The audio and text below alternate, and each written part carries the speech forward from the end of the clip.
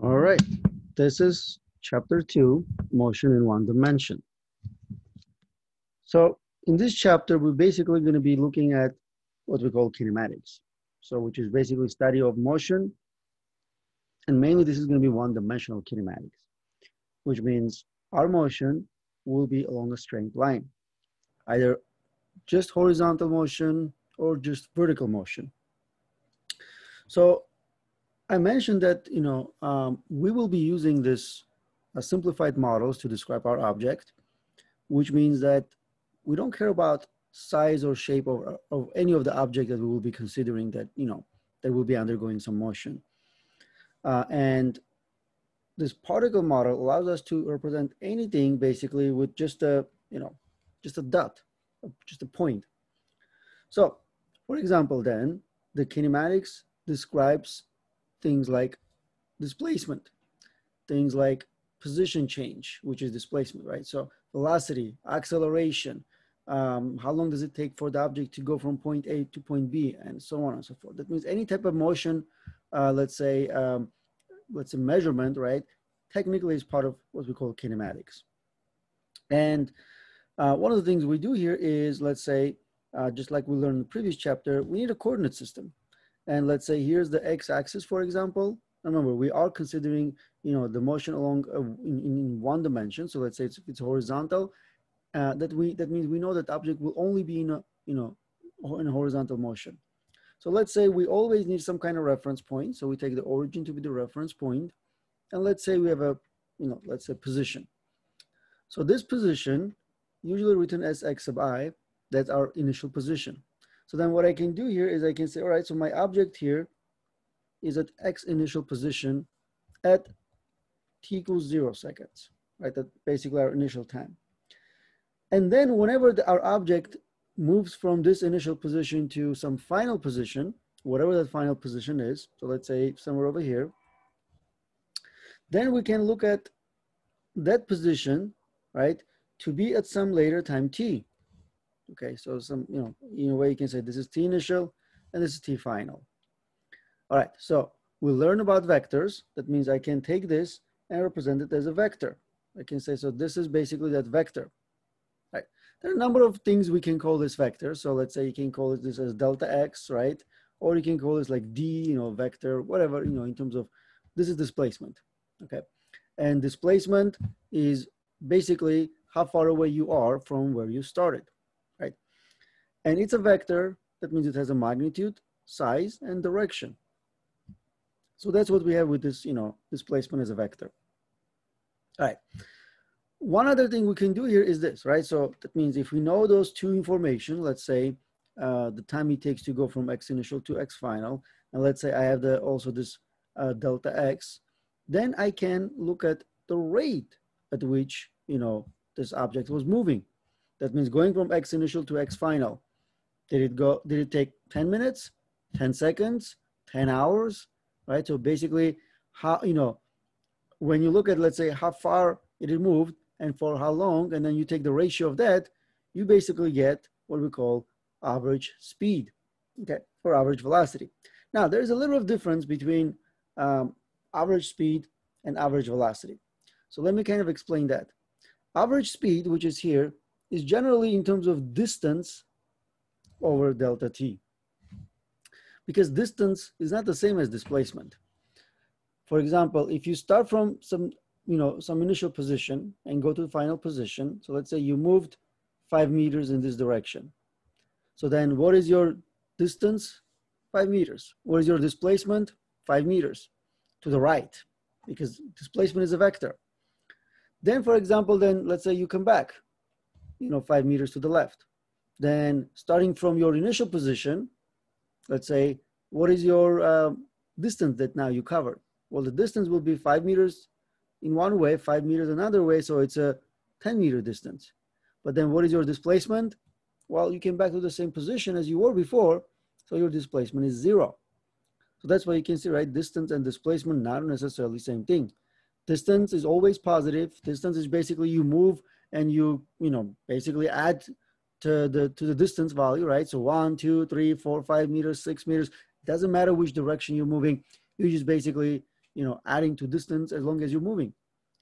Displacement is not like that. Displacement is, you know, you just basically start moving.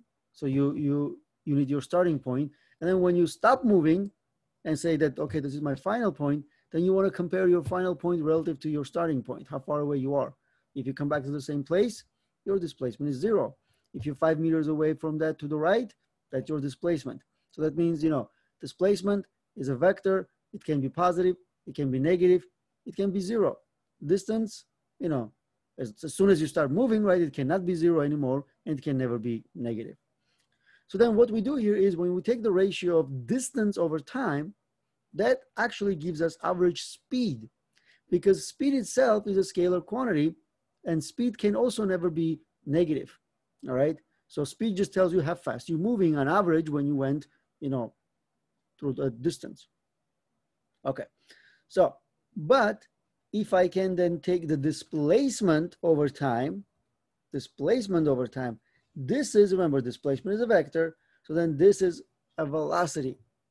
This is defined to be the velocity, well, technically average velocity again, but this is average velocity, which means that we are looking at the vector quantity. So that's why if you go from this x initial to this x final, if you can see, right, if this is your displacement, delta x, well, V average is proportional to delta x as a vector. That means V average will always have the same direction as the delta x, your displacement, because it's proportional to the delta x. So if your displacement is to the right, your velocity is to the right, or average velocity. If your displacement is to the left, average velocity is to the left. So also you can see that uh, the units, this displacement in meters over time in seconds, so this is the units for the velocity, meters per second. And we always use SI units where the meters is the for, for the length and seconds for the time. So you might be given, let's say, miles per hour, feet per second, or you know, kilometers per hour, kilometers per second. We usually would need to then convert everything into meters per second. All right, so again, motion along, you know, of the object as it moves, you know, along the x-axis, right? Um, we can then talk about, let's say, in terms of position known at all times. That means one of the things we can do, for example, is we we can draw what we call a motion diagram. Okay, so let's say this is where we start from, right? This is point A, this is our initial position. And you can see, right, initial position is at 30 meters. But what we're gonna do here is we're gonna start um, measuring, let's say, the position of the object at some, you know, equal time interval. So let's say 10 seconds, right? And then for example, then measure position of the object 10 seconds later, which just happened to be here. Then another 10 seconds, well, this is here. Like, what does it mean? Well, this is, this is kind of like unfortunate picture. I wish they had a picture where it's basically the car actually, you know, moving, you know, shows that it's moving to the left. But this just means that car is actually moving to the left here. That means it goes from A to B.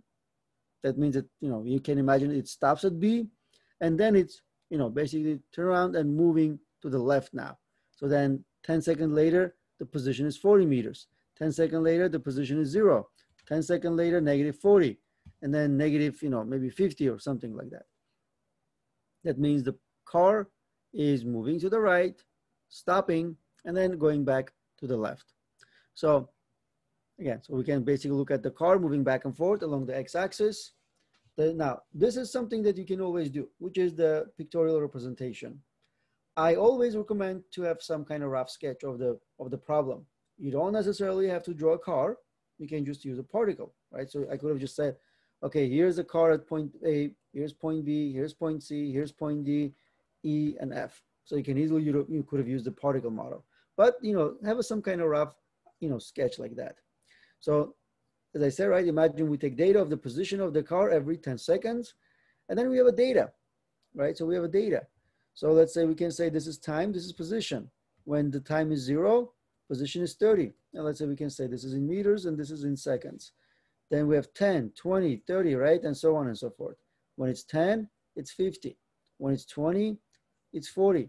When it's 30, it's zero, right? And so on and so, so forth. That means every 10 seconds, we measure the position of the object and we take a data like that. All right, so what can we do with that? we can use another tool. Remember, this was a tool, right? Pictorial representation is a tool. But using that, now we can have another tool, which is the graphical representation of the motion, which is known as a position time graph or position versus time. All right. Position versus time always take position to be on the y-axis and takes the time to be on the x-axis. And one of the things we have here is the for this particular case, right? Whenever we are looking at the uh, let's say the motion of the of this object, right? You know, you can then plot it along the you know let's say for this position versus time graph. Now, this particular motion is actually an example of what we call non-uniform motion. So non-uniform motion means that the car or our, you know, our object here is basically moving such way that it's, you know, speeding up or slowing down. So we're going to look at in terms of different type of motion uh, as we, as we, you know, learn more. So we can see that every time the motion is non-uniform, non-uniform means changing speed in this case. So changing velocity or changing speed. But remember, right now for us, slowing down and speeding up is technically means that you know you're changing speed. And this particular type of graph then can be represented in terms of this non-uniform motion. All right, so what we can do, what can we do with this? Well, one of the things we can do from here is that we can get some information. We can get some information because one of the things I have here is, see if I have a points A and B, and if I connect those points A and B together, um, then I can find some very important information. So for example, I draw a line between points A and B. By the way, I don't know if you go the name, if you know the name of this line. If you know the line, you know the name of the line, it's good. If you don't know, this is actually a secant line, not a tangent line, but a secant line. And what we do here is we use a secant line to connect two points, two different points. So here's the thing then. So we have this data, right? Just like, I, you know, I put it over there. So you have data of the object motion. That means we are measuring position for every 10 second time interval. And what we did, right? We basically plotted in a position versus time graph. Now, if you go back to this graph, you can see that if I draw a, a secant line, that blue is the secant line over there, then if I try to find the slope of that secant line, and remember slope, as we learned in the you know lab one, right, is rise over run. Now, if I do the rise, I can see that the rise over here is just nothing but the change in position. Run is nothing but change in time. That means slope is equals to delta x over delta t. Now, what I, what I have for then this delta x over delta t, well, that's defined to be the average velocity of the object between points A and B. That means as the object is moving from point A and B, on average, the velocity then can be found using the, you know, the secant line and finding the slope, or physically speaking, it's just a displacement between A and B divided by time, right? So delta X over delta T or X final minus X initial over T final minus T initial. Units are very, you know, you know very identical to the speed, meters per second, you know, for, you know, in the, in the SI units, but you can say it's a length per time. Okay. Now remember one thing. For example, if I go back to this graph, you can see that if I'm graphing the from A to B, if I draw a line from between A to B, that secant line, and find the slope, I'm going to get a positive slope. Now, positive slope means positive velocity. Positive velocity means object from between A and B was moving to the right. And if I go back over here, you can see, right, between A and B, it was indeed moving to the right. This is being the velocity vector. So it is moving to the right, but you can see that what happens here is, you know, after point B, if you look at point B and C, if I draw a line like that, and look at average velocity between point B and C, or a graph like that, and look at B and D, let's say, or B and E, and so on and so forth, my slope will be negative. My slope negative means velocity negative.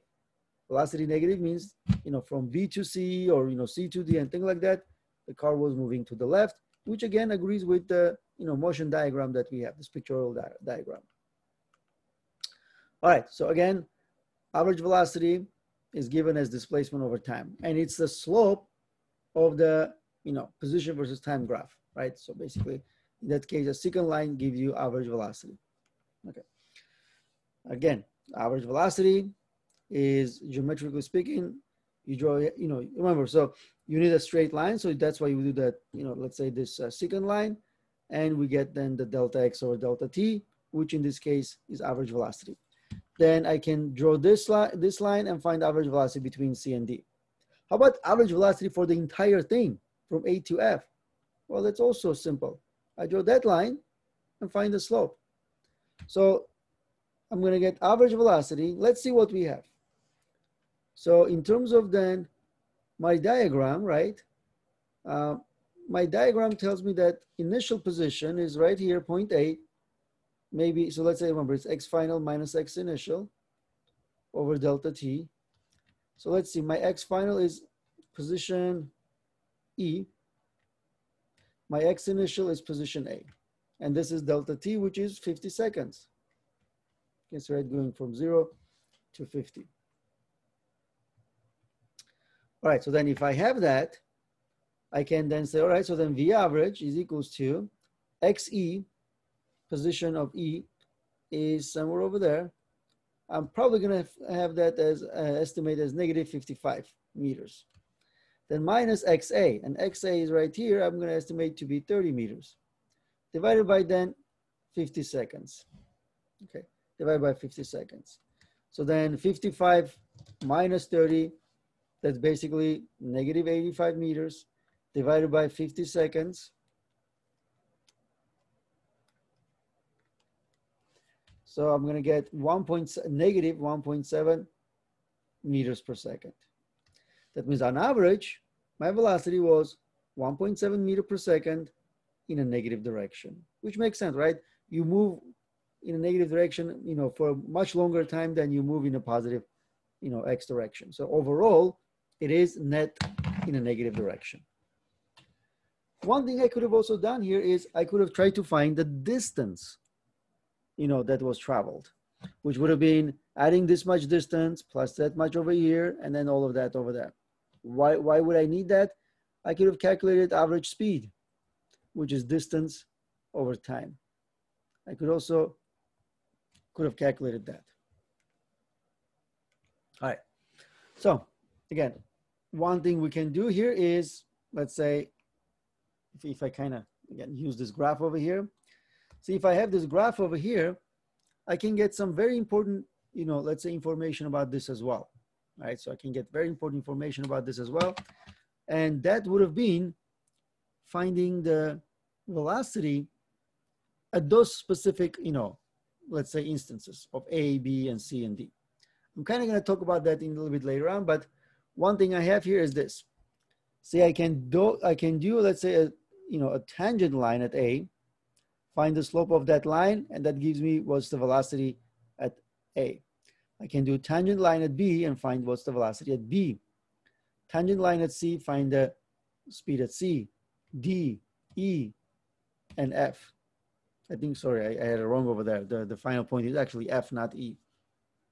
But, you know, I, I use the same, I, I use the correct number. But in any case, you can find the slope and then have approximate, you know, velocity versus time graph. So velocity versus time graph, which remember, if I look at point A, I'm gonna have a positive slope. Point B has zero slope. That means by the time I go from A to B, my velocity, right, x-axis is the velocity, should go down to zero. And then after that, going from B to C, I have negative slope and a negative slope, another negative slope, all the way negative slope, which means that my you know, graph would have been negative, negative, negative. But then over there, I start slowing down. And eventually, let's say if I do, if you can see, right? If I look at the slope at F, it's again zero. That means I again slow down and stop. This just means that, you know, here, this is means you're moving in a positive X direction, but slowing down.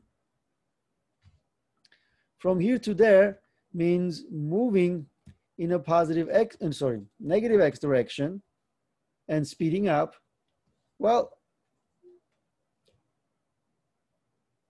actually, you know, you speed up you don't necessarily speed up over that. That means you technically, as soon as you have this shape of the graph, you are technically slowing down because you're speeding up all the way over here. So this is moving in the X direction and slowing down. Because remember, when you get to, um, let's see. Actually, never mind, right? This graph is, you know, speeding up. Sorry, my bad. Speed up because remember, so this is zero and then you go all the way to some, you know, negative v, right? So you're actually increasing your velocity, but you know, in a negative direction. So you are speeding up all the way to point D. But then you can see, right, your velocity decreases, decreases until zero. So then this segment is moving. So this was that, right? So moving in a negative x direction and then slowing down until you stop. Okay. That means this is, again, this is moving in a positive x direction because velocity is positive. All the way to point B, velocity positive means you're moving to the right. And then velocity is zero at B, that means you stop at B. And then your velocity increases in a negative direction all the way until D, that means you're speeding up toward D. Then you start decreasing because that means this D here is your maximum speed in a, in a negative direction. Then you start slowing down. So this is slowing down until you stop at point F. Remember, this is velocity, right? Which means velocity here is zero at, you know, at that position uh, F or time of 50 seconds. All right, so ready to look at some simple example at least, you know, to start with. So your position of a runner as a function of time is plotted as moving along the x-axis of a coordinate system. During the three second time interval, the runner's position changes from x1 which is 50 meters, to x2, which is 30.5 meters, as shown. What was the runner's average velocity? All right. So one of the things I recommend, you know, to have a, like a table with the given information. We're given x1, which is 50 meters. We're given x2, which is 30.5 meters. And we're given delta t. See, we're given like a time interval. So delta t is three seconds. And what we want to find, then average velocity. Now, as, as soon as you put everything in front of you like this, it's easier to kind of visualize it. And then now you can just look at your table. You have x1, x2, which is x initial and x final, and delta t, and one v average. So that means we know that v average is displacement over time, which means then we can use this to calculate that. Well, displacement is, you know, x2 minus x1, and this is t2 minus t1, which means 30.5 meters minus 50 meters divided by three seconds of the time interval. So then V average is equals to, this is gonna be uh, giving us nine, negative 19.5 meters and divided by three seconds. And that's gonna give us negative 6.5 meter per second. That means our motion is gonna be six meter per second speed on average, heading to the left. Negative basically means that. All right, so let's look at another example. So we have an object that moves along the x-axis. The graph shows its position x as a function of time. Find the average velocity of the object from point A to B, B to C, and A to C. Okay. All right, so let's look at them. So what I have here is, in order to go uh, from A to B, like let's say, and find the average velocity, we do a, you know, a secant line. It means here's that line. So that means, you know, this is from A to B. What I, what I need here is for V average, I need like, let's say X of B minus X of A divided by T of B minus T at A. X at B is 25 meters. X of B, sorry, X of A here is zero. T of B is three seconds and T of A here is zero. Okay, which means V average is equals to 25 meters divided by three seconds. And that's 8.3 meters per second. It's positive 8.3 meter per second. It means moving to the right as it's going from A to B. Now let's do the B to C. What I'm gonna get here for the V average is this, XC minus XB over TC minus TB. All right, XC, which is position C, is zero. XB here is 25 meters. TB here is six seconds and T, uh, sorry, TC is six seconds and TB here is three seconds. which give me negative 25 meters over three, three seconds. And this is gonna give me, well, it's gonna give me negative 8.3 meters per second. Okay. Now, how about from A to C? Well, from A to C, then what I have here is this. V average is equals to XC minus XA over TC minus TA. XC here is zero. XA here is zero. And it doesn't matter what this is, you're gonna get zero. Why? Because you're coming back to the same horizontal position, right? Which is X equals zero. Okay. Now, um, then what, what I have here is the question B, which is would average speed be less than, equal to, or greater than the values you found in part, in that part? Well, it depends. For example, if I'm considering from A to B, then my average speed and average, you know, average velocity, average speed, remember, is distance over time. And then the displacement and distance are roughly the same. So are roughly the same. So you can say that average speed and average velocity are the same from A to B. Same thing but for the B to C. Average speed and average velocity magnitudes will be roughly the same. But average speed always positive, but we just learned, right? Average velocity from B to C is negative. So that means their magnitude will be roughly the same, but then the direction, you know, of the velocity will be negative where the, you know, speed is not even, you know, uh, directional. So that means it doesn't even have the direction. But now I'm looking at, for example, from A to C. Well, I, when I look at A to C, then we just, we just learned that my displacement here is zero. But obviously my distance is not zero. Distance will be, let's say, going here roughly 30 meters, another roughly 30 meters, or sorry, 25 and 25. So it's, it's, about, it's roughly 50 meters. That's my distance. So then, you know, average speed will be about 50, 50 meters divided by six seconds, right? So 50 meters divided by six seconds. Right, so let's see. I get, you know, well, 8.3, three, right? So pretty much same thing. So that means what I have here is the average speed is 8.3, which makes sense because it's like it's 8.3, 8.3, right? So that means, you know, average speed is 8.3, but uh, displacement is zero. That means average velocity is zero. So that's why here where they kind of disagree in terms of uh, magnitude, right? Average speed is 8.33, but average velocity magnitude is zero. All right, so we can also look at what we call instantaneous velocity.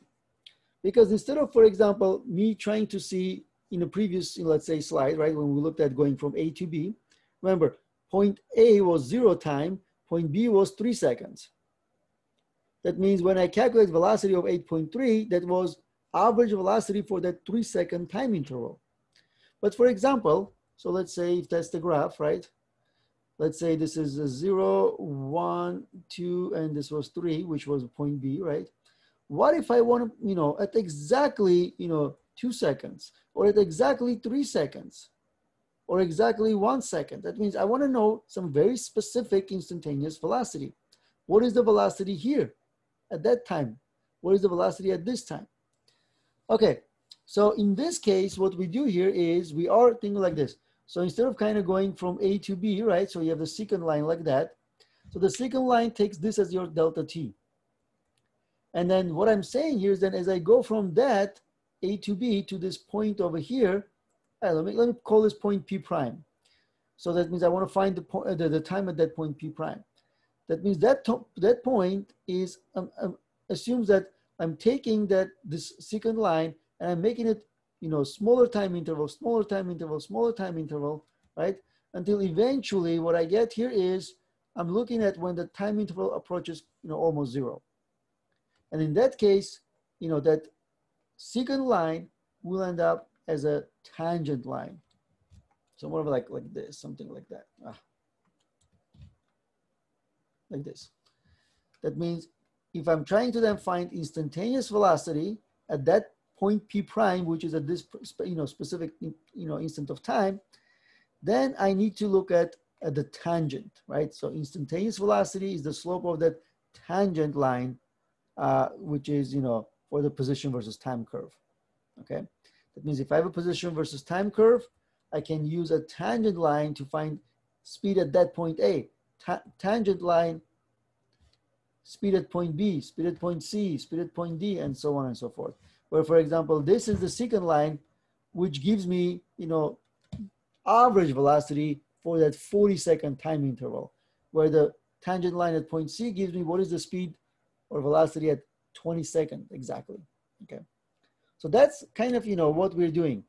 That means we're looking at the average velocity as a secant line and instantaneous velocity from the tangent line.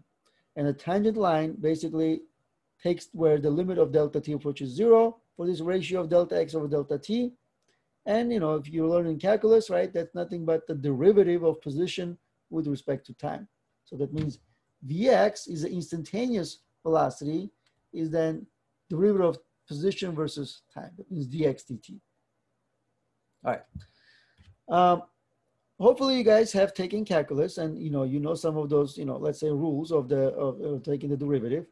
For example, you have the you know you have some kind of you know uh, let's say function u, which let's say depends on time. So let's say as a as you know u is equals to c times tn, where c is some kind of constant, and basically same thing with n. is an exponent, but it's still some kind of constant.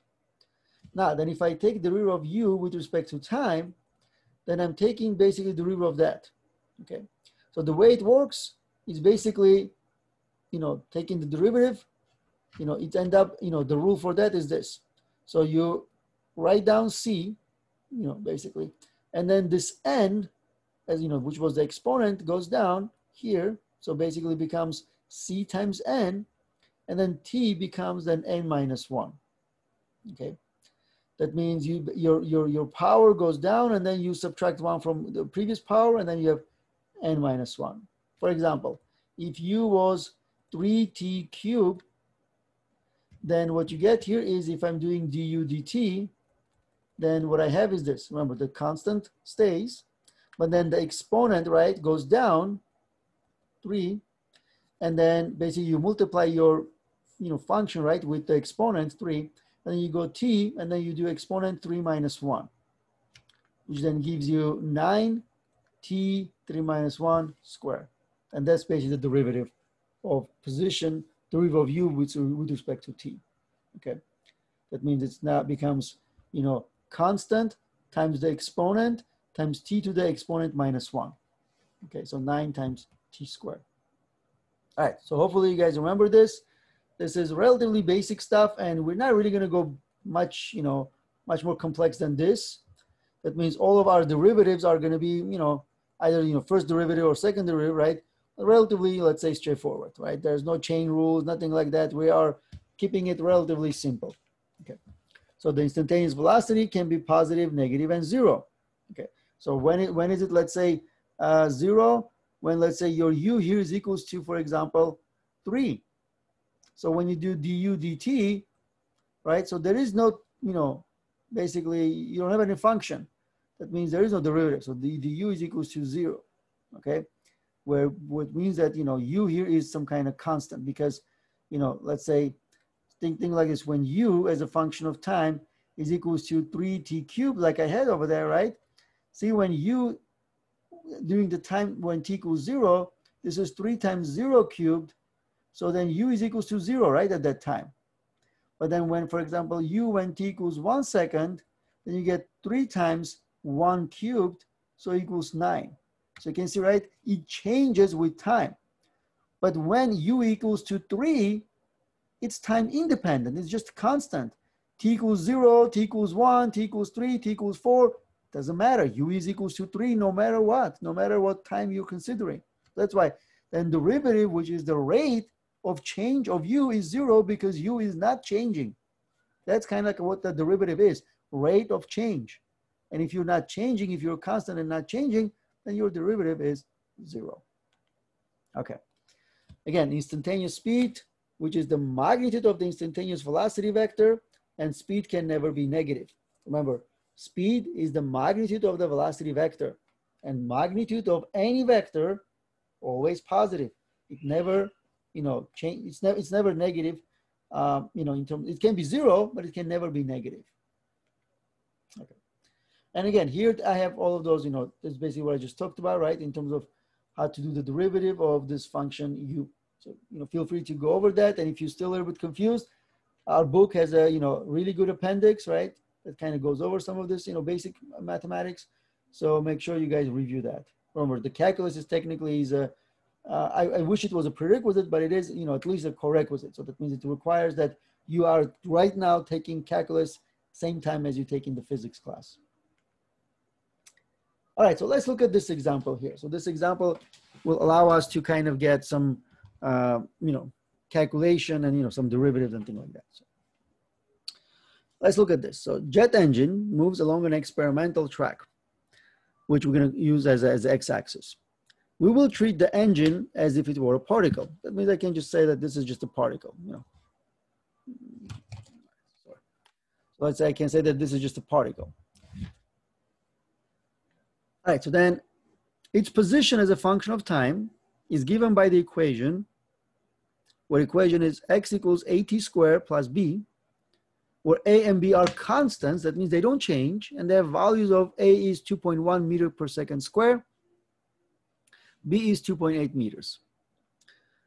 All right, so that means what we're gonna do then is we're gonna determine the displacement of the engine during the time interval from t1 equals three seconds to t2 equals five seconds then determine the average velocity during this time interval, and determine the magnitude of the instantaneous velocity at t equals five seconds.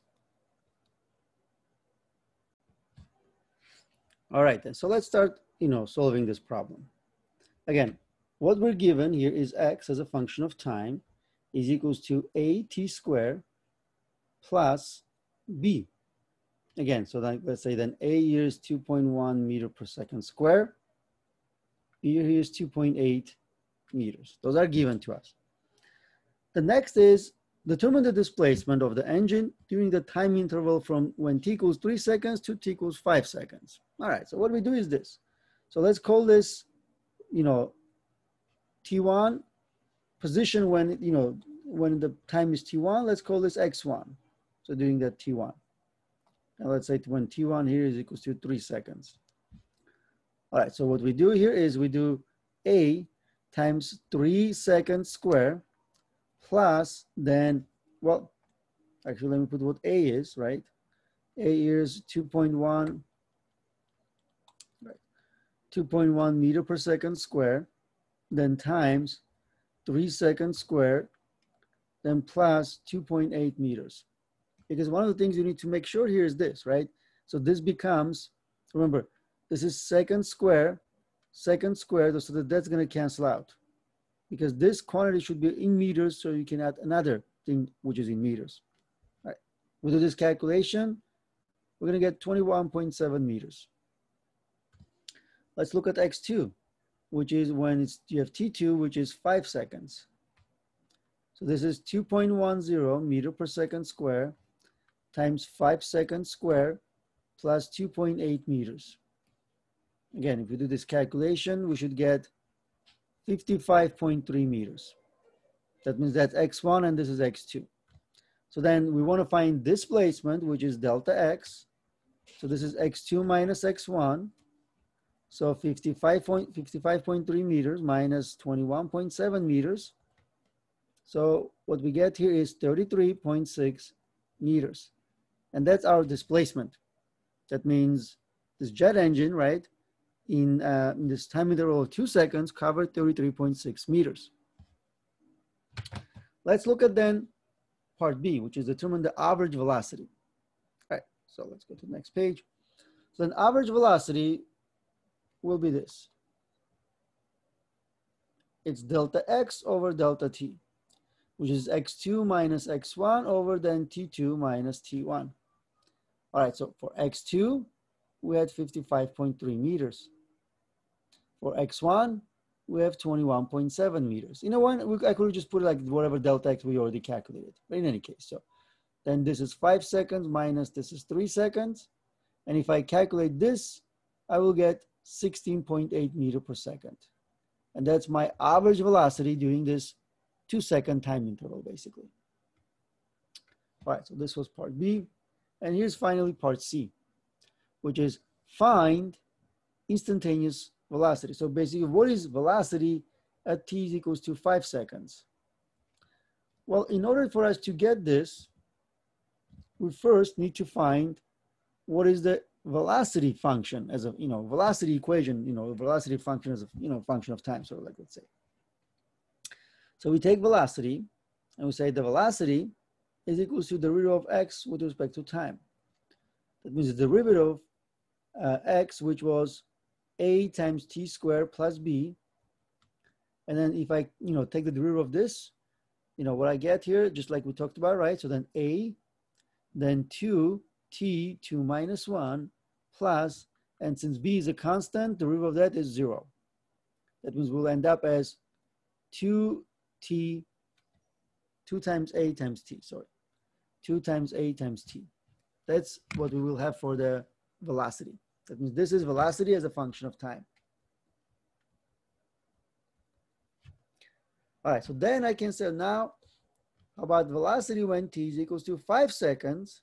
Then this will be two times um, 2.8, sorry, 2.1, this is a meter per second square, then times t, which is five seconds. You can see, right, seconds cancels that because your units should be in meter per second because this is velocity. So we're gonna get 21 meter per second, All right? So this is then instantaneous velocity at five seconds. You can see, right, it's larger than that, which is the average velocity because average velocity takes into account the some of this time when it was moving slower, right? Remember when it's, you know, it equals two seconds, sorry, let's say three seconds, four seconds, are actually moving slower compared to five seconds, right? But this is taking into account all of those, let's say three, three, you know, three time intervals combined together. That means when it's time equals three seconds, when time equals four seconds, uh, you know, and five seconds, average of those three. All right, so that's kind of like how we approach a problem like this. All right, so again, we have been talking about technically, uh, you know, uh, uh about uniform, uh, sorry, non-uniform motion. Non-uniform motion was when object would speed up, would slow down, and all of those things, which is more or less more realistic motion, right? So you always, when you, you when you're moving, when you're driving, right, you don't just move straight line, constant speed, never change anything, right? So usually you slow down, you speed up, you turn around, and things like that. That's more realistic motion. So that's why we kind of like, you know, I started with that. But it's uh, it's possible that sometimes we can simplify motion and we say that you know what object could be moving in a straight line uh, with same speed, which is known as a uniform motion. Which means, for example, if I'm measuring the, let's say the this motion diagram, motion diagram, that means I, I have a position of the particle. So x1, x2, x3, x4, x5, x6. And you can see, right, all of those, you know, basically the position of the object for, let's say, you know, exact equal time intervals. Let's say one second time intervals. That means, you know, going from x1 to x2 is one second, x2 to x3 is one second, and so on and so forth. And you can see that you basically have exactly same displacement for all of those which means you are covering same distance or same displacement over time. And if you find, let's say velocity for each displacement, let's say this is V1, this is V2, this is V3, this is V4, this is V5, well, they all will be exactly the same. They're all gonna have the same magnitude, same direction. So we can say it's a uniform motion or constant velocity motion because V1 is same as V2, same as V3, same as V4, right? They don't change. That's why it's constant velocity, but I usually call this a uniform motion. And if you plot uniform motion, you're gonna get a graph like that. No curves, nothing like that. It's kind of like a straight, you know, linear, you know, graph like that. So, and if you, you can see, right, if you find the slope of this segment, time interval, and this one, and this one, and this one, they're all gonna be the same, again, because constant velocity motion. That means velocity, you know, is a slope, and it means every segment of your graph should give you the same slope. All right, so that's why It's a relatively, you know, straightforward motion where we then take the object to just moving with the same speed, same direction, not speeding up, not slowing down, not changing direction for this chapter. Okay, so then object's motion, you can see it's uniform. You can, you know, define it like this, right? If and only if its position versus time graph is a straight line. As soon as the graph starts curving like that or curving like this, right? Now that's a non-uniform motion, which means it's a, for example, uh, let me make this, a, let's say this, this orange one, right, is actually speeding up. And for example, then this red one is actually slowing down as you move to the, to the, you know, to the right. So that means each, each graph ha has, you know, important information. Straight line is a uniform motion. Parabola, right, is basically speeding up and so on and so forth. Excuse me. All right, so then technically what we have is this. Remember this equation, right? Where V average is equal to delta X over delta T. But if, think like this, V average, what is V average? It's V1 plus V2 plus V3, let's say, for example, divided by 3. So let's say 10 plus 10 plus 10 divided by 3. What do we get? 30 over 3, we get 10. Which means if you have all of the same velocities, well, your average is also the same. That means there's no point of you know using even the average. We can just ignore the average and say this is just Vx. That means Vx equals delta x over delta t because you know Vx is same as V average, same as V1, same as V2. And then using this equation, right, where you have delta x equals, you know, um, delta x over delta t, you move the delta t to the other side, becomes Vx times delta t. Most of the time, delta t is this, it's t minus zero, because initial time we can just set it to zero. So I can simplify this to just Vx times time. What is delta x? Well, it's x final minus x initial. Then I can change this into where I move the x initial to the other side, and then we have this equation over there. That means this is equation specifically for a uniform motion, allowing us to find final position if you have the initial position, constant velocity, and then you know how long the object is moving. So you can use this to calculate, you know, what, what would be your final position. Okay. All right, so these equations can be applied to a particle or object that can be modeled as a particle moving under constant velocity. One other thing I can do from the from these graphs, um, remember I have position versus time graph, and let's say for example this is my graph. So then what I can do, I can break it down and find the slope, and I can see that, that all the slope is the same, and let's say I find the slope, let's say I get 12 meter per second. Then I can, I can see that for all this time interval, my velocity is 12 meter per second. So I can use this to graph this one, which is velocity versus time, where the velocity is 12 meter per second, and it's not changing as a function of time, constant. Right, so now, what I can do from here is this. So let's say, for example, I'm gonna take this as my time interval. That means this is becomes, let's say, you know, uh, not V1, V2, because that's all the same, right? So this is V. Uh, and then this is my delta T, right? Or just T. Let me put like delta T. Now, here's what I have. Sorry, velocity is here actually. So let's say this is, if this is my V, right? So let's say this is you know what I have. This is my delta T. See, if I do V times delta T, what do I get? I get area, right? Area under that graph. But I, we also just learned that delta X is equals to Vx times t. What it means that Vx times t is the area under the velocity versus time graph. And that also equals to the displacement of the object. That means we can find the slope of the position versus time graph to get velocity or find the area under the velocity versus time graph to find then, you know, displacement, which in a way ends up being this. So remember, so if this is the you know, the area, right? General equation you can say is this, delta x is equal to integral of v dx, sorry, dt, going from t1 to t2, let's say. So technically then, remember, this is nothing but the area, right? The integral is the area, it, because if you have some kind of like, uh, you know, velocity like this, you can still do the, that same thing. Area under the graph is technically equals to your displacement. All right, now, going back to the non-uniform motion. So if you have non-uniform motion, we can do this. For a non-uniform motion, we have velocity that is changing. That means V1, V2, V3, they're not equal to one another. So if you're speeding up, you have this. If you're slowing down, you have that. That means, you know, as a function of time, you're speeding up, or as a function of time, you're slowing down. That means you have a delta V, which is basically not zero. Remember, right? So if you have a uniform motion, delta V would be zero, because if you do V2 minus V1, and they're both the same, you're gonna get zero. But if you have non-uniform motion, delta V either positive or it is negative, depending in which direction you're moving. Now, then let's say you go from, um, let's say here's position x1, x initial, and here's the object moving with some velocity uh, v initial. And then let's say at this position, x final, right?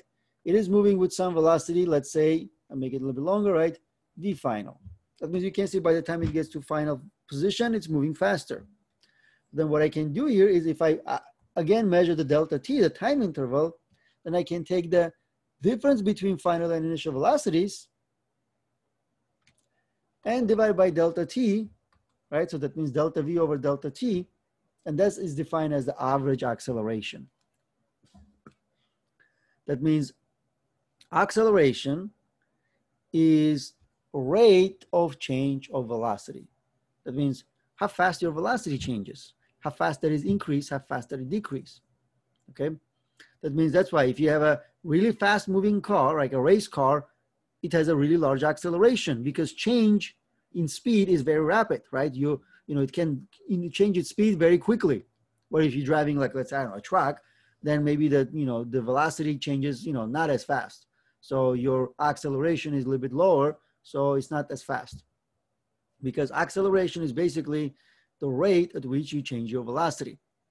Greater value of acceleration means your velocity changes by a much greater amount. Also, acceleration is a vector, and it's proportional to the change in v as a vector. Okay, proportional to change in v. And generally, what, what we have here is, uh, let's say, you sometimes want to know the instantaneous velocity, sorry, instantaneous acceleration, then again, similar way, you can look at as a limit where delta t approaches zero, and this ratio of delta v delta t becomes derivative of v with respect to time. Okay, that means acceleration is then derivative of the velocity, just like velocity is the derivative of position, because velocity is the rate at which you change your position. Acceleration is the rate at which you change your velocity. So you then take you can take then basically the derivative of you know velocity as a function of time to get acceleration. But also remember, this velocity itself is a derivative of the position as a function of time. That means you're taking the derivative of derivative, which means you technically can look at the acceleration as the second order derivative of the position as a function of time, all right? So for example, if this is your function, remember, technically this u is a position. Let me do it like this. So let's say you have x as a function of time equals 2t to the 4 right? 2t to the 4. Then I take derivative of this guy to get velocity, which this will be derivative of 2t to the 4. So then this will be, you know, 2 times 4 times t 4 minus 1, right? So then 8t cubed. That means this is now my velocity as a function of time. Then I can take the acceleration which is basically taking the derivative of this derivative, right?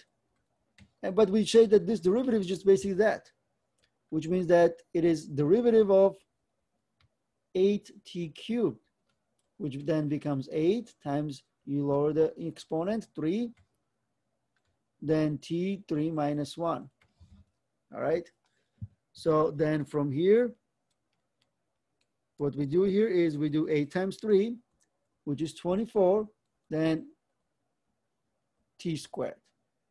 And that's basically the acceleration as a function of time.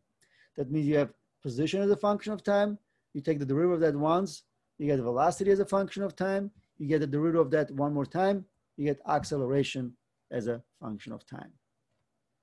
Okay. Graphically speaking then, if you have a velocity versus time graph, remember then, if I take the area under this graph, area is displacement. But I can also look at some specific time, you know, let's say TA, TB, TC, and I can find the slope of those times, right? At those times, right? And the slope is basically gives me acceleration. So the slope of the velocity versus time graph is the acceleration. So I can then use that to construct this graph, right? Because think like this. Here I'm gonna get some positive acceleration. So I go there and I have a positive acceleration, increasing positive acceleration. Because see acceleration at this point is zero, then increases, increases, right? Until it gets to this TA, but after that it decreases, decreases until it's zero. See, decreases until it's zero. But then it increases, but in a negative direction, increases, increases until it's zero. So then increases in a negative direction until it's maximum, and then decreases until it's zero. And those times, right, you know, coincide. All right, that means you can find the slope of the velocity versus time graph to get acceleration. All right, so you can write acceleration. So positive values correspond to where the velocity in the positive x direction. So this is in a velocity in a positive x direction. That means as long as the velocity slope, you know, let's say is positive, right? Because you can see, right? It's positive, positive, positive, positive, positive, all the way until here when it becomes zero. So the, your graph will be above the T line. But then here's negative, negative, negative, negative. So your graph will be below the T line. All right. so let's summarize most of those things. So negative acceleration does not necessarily mean that object is slowing down. This is very important thing to sort like to understand, okay? Because what I have here is this. Whenever you are looking at object's motion, you want to then look at in terms of, um, let's say in which direction it is moving, okay? So negative acceleration means that acceleration vector is pointing to the left, but it doesn't mean that object going to be slowing down object going to slow down the case, right? If the velocity is negative and the acceleration is negative, both of them are negative, the object is actually not slowing down, it's speeding up. That means you want to compare velocity with acceleration directions and then understand what's going on. If both are, you know, let's say negative, that means, you know, you're actually speeding up. Same way, if both of them are positive, again, you will be speeding up. So that's why sometimes we call deceleration, which is commonly used to indicate an object is slowing down. Okay, but we're not really using this in this in this class. This textbook doesn't use it, and I usually don't use it. So that means acceleration means that you can speed up or slow down because acceleration is defined as changing velocity, and velocity can change as you know decreasing speed or increasing speed one of the ways you can figure out if object is speeding up or slowing down is look at velocity and acceleration. If they're in the same direction, the object is speeding up in that direction. And when object's velocity and acceleration are in opposite direction, then when the object is slowing down. So that's why saying that velocity is negative and you know doesn't mean that let's say uh, or let's say acceleration is negative doesn't mean that object is going to slow down or saying velocity or let's let's say saying acceleration is positive doesn't mean it's going to speed up Again, you have to compare that to the velocity direction. All right, so let's look at another example here, which is kind of like, let's say an example that similar one I did over there. So a particle that moves along the x-axis according to the equation where x equals three, uh, 2 plus 3t plus 1 t squared, where x is in meters and t is in seconds. At t equals 3 seconds, find the position of the particle, its velocity, and its acceleration. All right, so what I have, sorry, what I have is this. So let's say at x at, you know, t, right, I'm given as, this is 2 plus 3t plus 1t squared. So when I replace the t with 3 seconds, that means this becomes 2 plus 3 times 2, sorry, 3, plus 1 times 3 seconds squared. Okay. Then what I get here is then 2 plus 9. Then,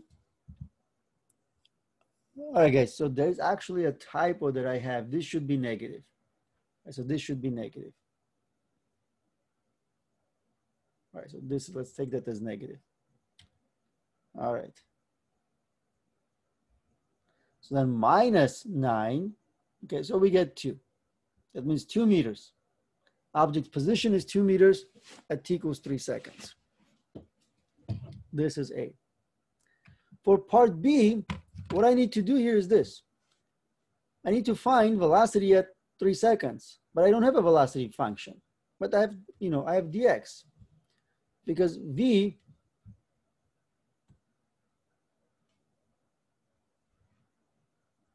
is dx dt, which means taking the derivative of this.